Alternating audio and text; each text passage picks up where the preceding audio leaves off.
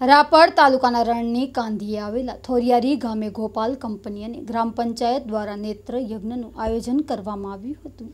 વધતા જતા પ્રદૂષણ અને હાઇબ્રિડ બિયારણના કારણે ઘટી રહેલી રોગ પ્રતિકારક શક્તિથી હાલે. માણસ પરેશાન છે અને એમાંય નેત્ર જેવી નાજુક અને દુનિયામાં હોવાના અર્થને યથાર્થ ઠેરાવતી આંખો માટે રાપ- રાપર તાલુકાના રણની કાંધીએ આવેલા થોરિયારી ગામે આજે ગોપાલ કંપની અને અને ગ્રામ પંચાયત દ્વારા ભવ્ય નેત્ર યજ્ઞનું આયોજન કરવામાં આવ્યું હતું. રાપર એપીએમસીના ડાયરેક્ટર અને કાંઠા વિસ્તારના આગેવાન ધારાભાઈ રાજાભાઈ ભરવાડ દ્વારા આ વિસ્તારમાં અનેક વીજ સદપ્રવૃત્તિઓ ચાલે છે. એમાં વધુ એક શોપાનો ઉમેરો કરી આજે આ વિસ્તારમાં માણાબા, પેથાપર, કુંભારિયા મેવાશા પ્રતાપગઢ ગાગોદર સાથે ભીમદેવકા ફૂલપરા અને આજુબાજુની સત્તરથી પણ વધુ વાંઢોના આંખે ઝાંખપ ધરાવતા હોય મોતિયો હોય કે અન્ય કોઈ પણ આંખની તકલીફવાળા દર્દીઓને કલકત્તાથી આવેલી ડોક્ટરોની ટીમ તપાસ કરી આવા દર્દીઓને યોગ્ય દવા સાથે ઓપરેશનવાળા દર્દીઓની અલગથી વ્યવસ્થા કરી ઓપરેશન કરાવી આપવામાં આવશે એવું અગ્રણી ધારાભાઈએ જણાવ્યું હતું તાલુકા મથક રાપરથી ચાલીસેક કિલોમીટર દૂર આવેલ થોરિયારી ગામના સરપંચ અને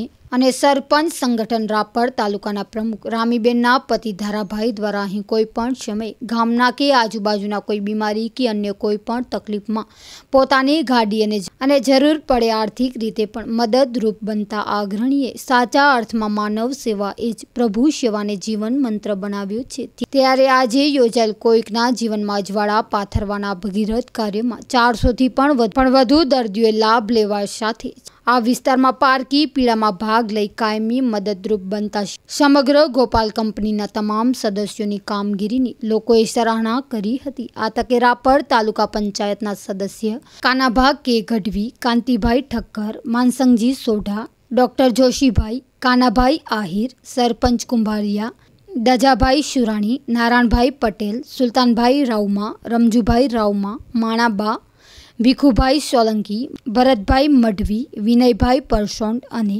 સોલાર કંપનીના અધિકારીઓ હાજર રહ્યા હતા. સમગ્ર કેમ્પને સફળ બનાવવા ગોપાલ કંપનીના સક્તાભાઈ, રાજાભાઈ ભરવાડ, ઉપસરપંચ મગાભાઈ ભરવાડ, જયગોપાલ સિક્યુરિટીના કરમસિંહભાઈ ભરવાડ આનંદાભાઈ ભરવાડે જહેમત ઉઠાવી હતી. સ્ટોરીબાય વિનોદભાઈ સાધુ माशापुरा न्यूज़ बच्चाऊ कच्छ। ये यहाँ पर काम कर रहे हैं I C M L integrated coal mining limited I C M L और जी के वी आर एक्स ये दोनों का सौजन्य से ये आई कैंप ऑर्गेनाइज किया गया है। यहाँ पर लोगों को आई टेस्टिंग किया जाएगा, जो जो आएँगे। उसके बाद आई टेस्टिंग करने के बाद वो नंबर लेकर के बाद में चश्मा दिया। सर कितने डॉक्टर्स है और वो डॉक्टर्स कहाँ से आए हैं और किस प्रकार की की जा रही है? तो हम लोग को कलकत्ता का G K B R excellence private limited चार ऑप्टोमेट्रिस्ट को यहाँ भेजा है। रिफ्रैक्शन का ज़रूरत होगा तो उसको उसको मेज़रमेंट लेके हम लोग कलकत्ता में हम लोग का फैक्ट्री में प्रोसेसिंग करके एक डेढ़ महीना में यहाँ भेज देंगे सर खास करके यहाँ कैसे पेशेंट दिखे जा रहे हैं? जो जो लोग बेसिकली जो अंडर प्रिविलेज है ये गाँव का उसको ट्रीटमेंट किया जाता है।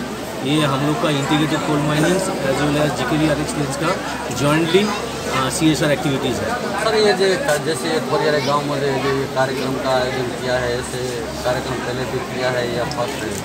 हम लोग सारा इंडिया में करते हैं। और ये ग्राम गाँव में ही फ़र्स्ट है लेकिन हम लोग वादा किया है हर छः महीना आके करेगा क्योंकि छः महीना में आई का आ, पावर चेंज हो जाता है। तो जिसका पावर आज एक है छः महीना बाद में अलग हो जाएगा। तो प्रॉपरली देखने के लिए छः महीना बाद में फिर हम आएगा आई टेस्टिंग करेगा। आज सनग्लास भी दिया जाता है क्योंकि यू यूवी प्रोटेक्टेड सनग्लास यहाँ का जो वेदर है इसके प्रॉपर विजन के लिए बहुत ज़रूरी है। सब डॉक्टर की तरफ़ से क्या सूचन रहेगा कि जितना हो सके उतनी अपनी आँखें साफ़ यस जो जो आएगा सबको हम लोग रिफ्लेक्शन कराएँगे। ये जो चक्षु का कैंप चल रहा है किस तरह से आएगा ये चक्षु का कैंप हम काफ़ी दिन से सोच रहे थे ये थोड़ियारी गाँव में करेंगे। हमारा पास में इंटीग्रेटेड कोल माइनिंग लिमिटेड का सोलर प्लांट है। और हमें उम्मीद है कि इस चक्षु कैंप से आप लोगों को बहुत सुविधा होगी और हम आगे भी ऐसे काफ़ी कैंप करेंगे। सर आपकी कंपनी से आजू बाजू गाँव के लोगों को क्या क्या सुविधा दी जाती है और कैसे कैसे कैंप किए जाते हैं? हम हम सबसे पहले यहाँ पे एक एंबुलेंस दिए हैं जो गाँव वाले के लिए काफ़ी सुविधा होगी। अभी चक्षु कैंप कर रहे हैं आगे भी हम काफ़ी गाँव वालों के लिए कुछ ना कुछ करते रहेंगे। ધારાભાઈ આપના ગામ થોડી મધ્ય જે આ એક જે નેત્ર યજ્ઞ કેમ્પનું આયોજન કરવામાં આવ્યું છે, કોનો કોનો સહકાર છે અને અત્યાર સુધી કેટલા લોકોએ આનો લાભ લીધો મને જાણ કરવામાં આવેલ સાહેબોની ઉપર કે આપણે કેમ્પ રાખવું ગરીબ માણસ માટે આજુબાજુના વિસ્તારમાં છે, અમારા ગામડામાં. મેં કીધું ભાઈ ત્યાં આપણે રાખી દઈએ, તમામ વ્યવસ્થાઓ કરી આપીશ.